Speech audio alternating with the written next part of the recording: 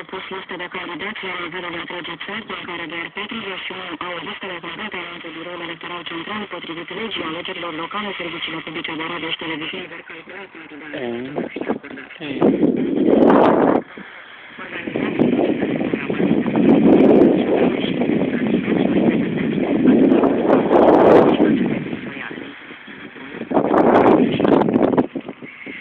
Traficul se desfășoară cu dificultate la transportul pe anumite porțiuni de pe DM, dar și pe autostrada Soarelui. De la centrul trafic al poliției, subinspector Laurențiu Dicu.